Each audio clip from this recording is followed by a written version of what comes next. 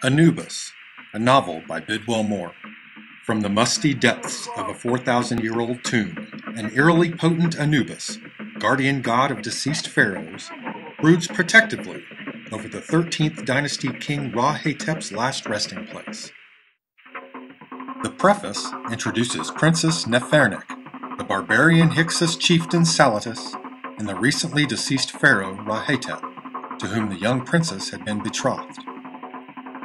Boldly, the girl princess deceives Salatis, Egypt's new ruler, who seeks the king's tomb and the lifetime accumulation of gold that he knows to be interred with the royal corpse.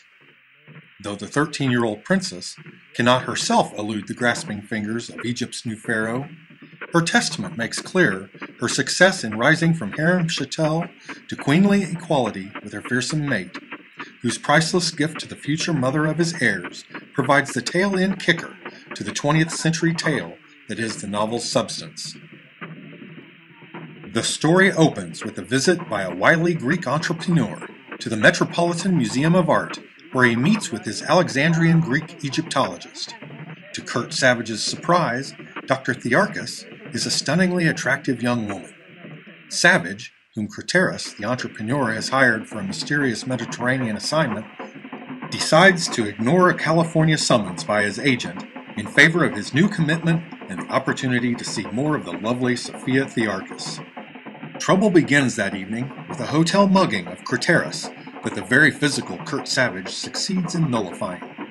The hazards of the Mediterranean shore, gun running for the benefit of an oil rich Arab sheik from whom Craterus expects lucrative shipping rights, dwarf the New York unpleasantness. The action shifts to the sheik's yacht and then Egypt, where the ingenious Dr. Thearchus, aided by the papyrus testament of Queen Nefernek, is on the trail of Ra-Hetep's tomb, whose artifacts will provide the clinching argument to Craterus' plans. The Sheik is an avid collector of Mid-East antiquities.